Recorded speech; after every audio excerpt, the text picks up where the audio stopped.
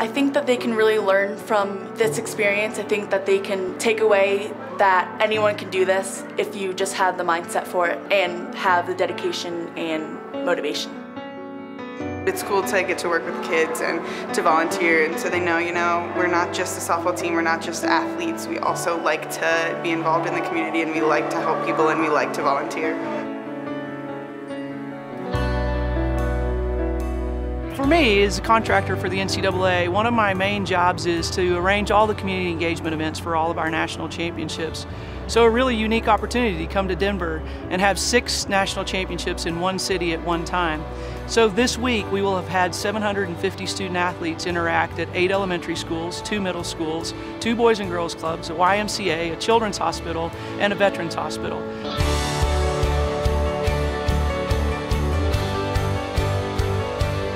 It's a benefit to the community like any event that comes into town. Maybe there's a kid out there who's wondering what their future in sports is and we've had a lot of kids from Boys and Girls Clubs, from local schools come out and watch. A bit of a chance to be inspired as well by watching great athletes perform.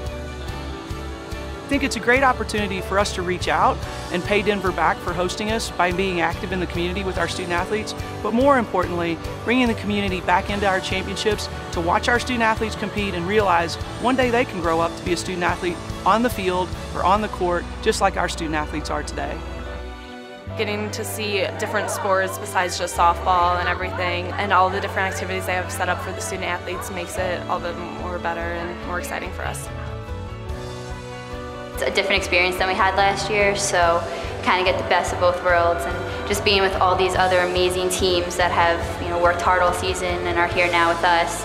We're just like lucky to be here with everyone and our women's lacrosse team is actually here as well, so we're excited to watch them play on the field as well and hopefully they'll come to a few of our games and it'll just be like a good environment. And I gotta say, festival has been a whole new experience. Um, seeing a ton of other teams, there's things set up for athletes all over the town. It's amazing. It's awesome. Well, I mean, this is like something we've never been before. I mean, I'm a senior now, so this is it for me. Um, the first year and the last past two years have been at really close places, Maryland and then Roanoke, Virginia, the past two years. This is really cool, getting on a plane with all your best friends and just doing what you love and being able to come here and it's just really cool, really cool experience. Make it yours really covers three different pillars is what I like to say. And those three different pillars are the community engagement, academics, and athletics. And this week, they have the opportunity to hit a number of those pillars and really make this Division II festival, this tremendous opportunity, their own. The championship festivals are all about the student athlete. It's a way for us to provide a, a unique once in a lifetime experience for our Division II student athletes. The spotlight is on them for a week and that's exactly why we try to do the festivals the way that we do them is because we want this to be a once in a lifetime experience for the student athletes that are here competing for this week and we want them to walk away and remember the opportunities that they had in Division II and look back on the festival as something that they really remember as part of their collegiate career. You're hoping to give a student athlete anytime they compete in a championship a memory they'll carry with them for the rest of their life. And so championship by itself is pretty special.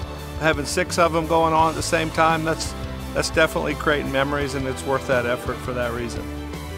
It was awesome to be at Mile High Stadium to see that. We got to see the fireworks, that's pretty cool. To have the president of the NCAA there was really cool.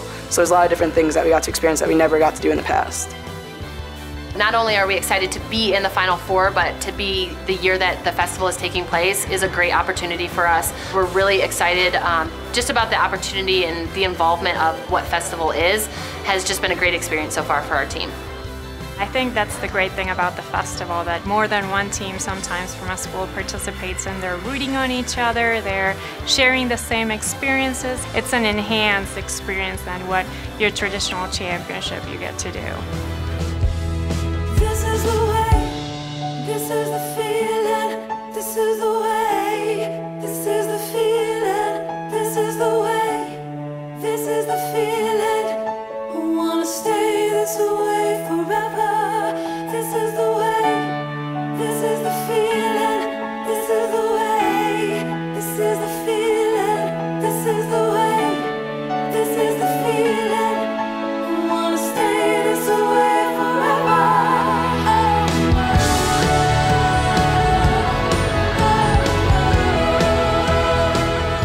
The end of the week, we want we want the, the student athletes and the coaches to walk away from the festival thinking that it, it's something that's going to stick with them for a long, long time. And, and, and that's our goal, and, and that's what we all work hard to do, and, and hopefully we succeed in that.